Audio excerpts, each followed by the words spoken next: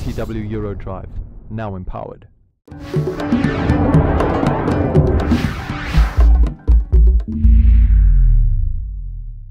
From Creamer Media in Johannesburg, this is the Real Economy Report.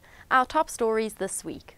Electric car Joule can unlock the battery industry in South Africa. African Rainbow Minerals warns of South Africa's logistics ineptitude.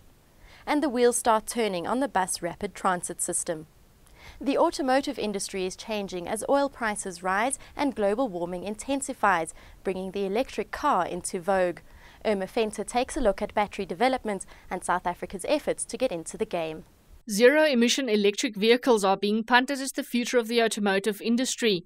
Run by batteries, charged by using a simple wall plug instead of using petrol or diesel, several governments are gearing up for its launch and expected expansion.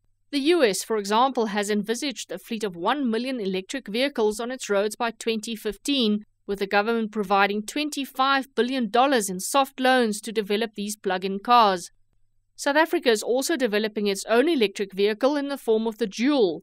Optimal Energy hopes to start pilot production of this vehicle in 2010. CEO Kobus Meiring says the imminent production of the car creates a great opportunity for South Africa to get into the new oil or the production of lithium ion batteries. But is battery manufacturing viable in South Africa? It's viable. Um, we've been going around for three years to universities, to wherever, and say we must get into the battery business. It's going to be huge. It's going to be a multi, multi-billion-dollar business for sure.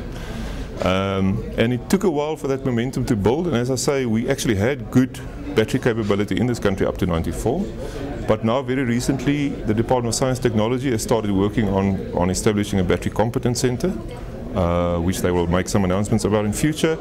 Um, and also at IDC level, they've started a feasibility study into setting up a battery plant in South Africa, a, battery uh, cell plant in South Africa. So I think you know oil. You either have it under the ground or in the sea, or you don't have it. Um, battery cell manufacture, it's it's it's intellectual capability uh, and you can decide to do it. And, and, and, and it's early enough in the process that we can really decide at this stage, yes, we're going to do it. It's going to take some investment, uh, but I think it's going to put us in a fantastic position going into the future. South Africa's manganese miners want better manganese logistics. This week, a second manganese miner highlighted the vulnerability of South Africa's logistical infrastructure. Mining Weekly's Martin Creamer has the story after the break.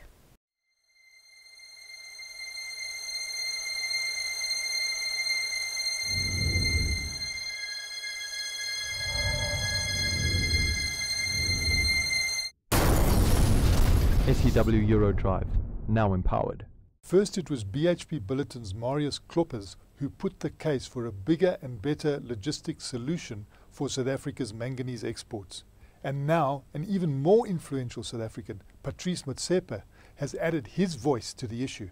It's not just uh, an industry specific issue, uh, it's about the country as a whole, our global competitiveness. And, and the problem is if, if there's a growth in demand globally for any of the metals that we produce or even other South African companies, if, if we don't feed in or supply that market uh, quick, quickly enough, Australia, Brazil, various other countries that are competing with us move very fast and, and those opportunities, primarily because of logistical uh, ineptitude on our side, those opportunities are lost to us. So BHP Billiton's Kloppers made the point that South Africa has good manganese in the Kalahari, but poor logistics to get it to world markets. What we do know is that there are very significant manganese resources in the, um, in the Kalahari, and uh, we've basically got a logistical constraint.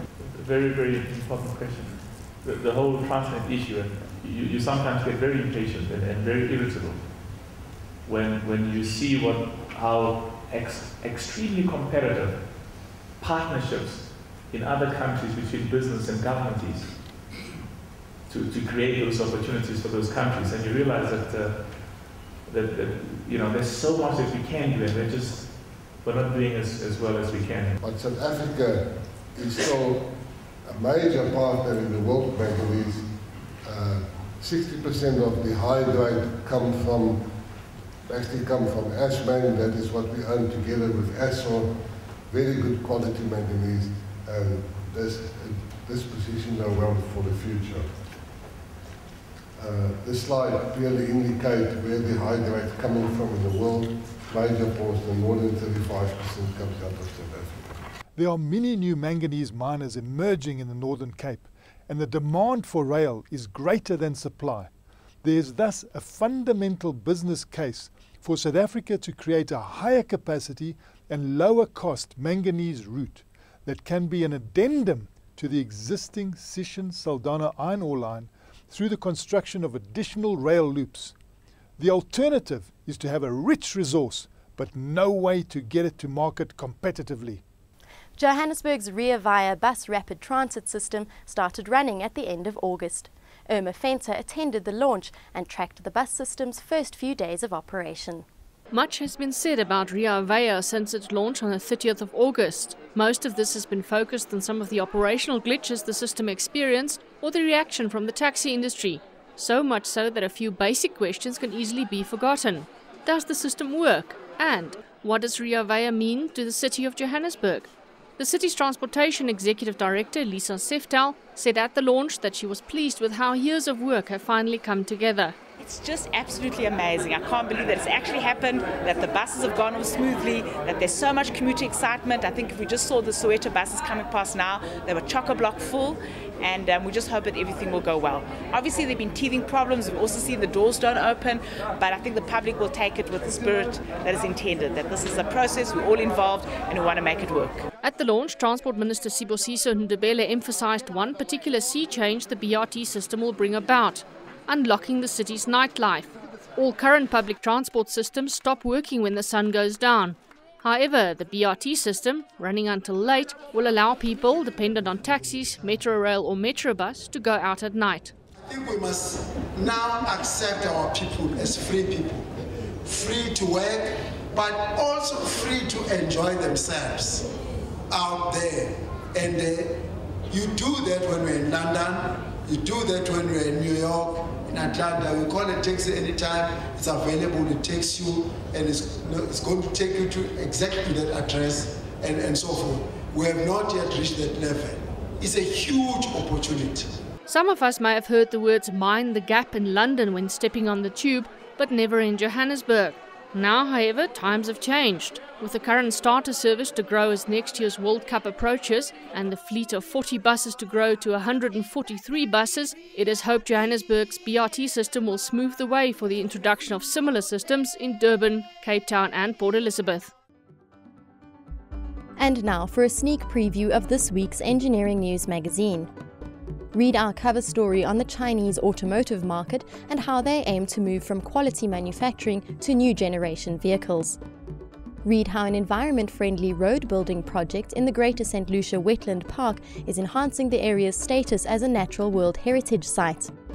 And read how search engine Google will begin collecting images for a South African Street View feature on Google Maps. And in Mining Weekly this week, Read our cover story detailing how mining investors are blocking deals they don't want and ousting boards they don't like. We report that South Africa is contemplating more stringent safety standards for the mining sector. And we report that the Namibian government is set to supply uranium and diamonds directly to India. That's Creamer Media's Real Economy Report. Join us again next week for more news and insight into South Africa's real economy.